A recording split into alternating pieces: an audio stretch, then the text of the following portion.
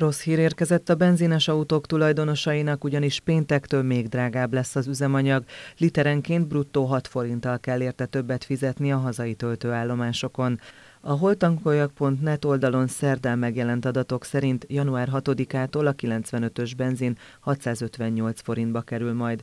Bújdos Eszter a weboldal ügyvezetője híradónknak azt mondta, a héten már tapasztalhattunk egy jelentős 16 forintos áremelkedést. A folyamatos drágulás egyik legfőbb oka az lehet, hogy az ellátást tekintve még nem állt helyre az a fajta ellátásbiztonság, ami a hatósági árak bevezetését megelőzően volt jellemző. Azt látjuk, hogy a piaci folyamatok legyen az a, a, az árfolyam, illetve az olajára még hatással tudott lenni a hazai üzemanyagárakra, de megmondom őszintén, mi sem számítottunk arra, hogy ilyen jelentős áremelkedés kerül bejelentésre, hiszen az elmúlt napokban inkább fordult az olajára, és most az árfolyamot sem látjuk olyan gyengének, gondolok itt a forint alakulását a dollárhoz.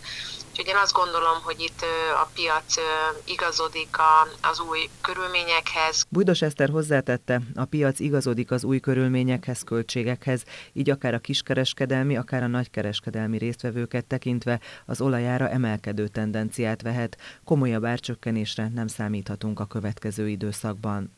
Nehéz megmondani, hogy éppen most az egy Kínában kitalált, bevezetett újabb Covid intézkedés miatt alakul-e így, vagy, vagy éppen a kereslet alakulását látják a piaci szereplők negatívabban, de én azt gondolom, hogy a köve, ez az év az, az mindenképpen egy emelkedő tendenciát hozhat, és amiatt, hogy a, a háború is még mindig tart és nem került lezárásra, az egy olyan bizonytalansági tényező, ami, ami miatt biztos, hogy inkább magasabb árszinten marad az olajár, mint alacsonyabban.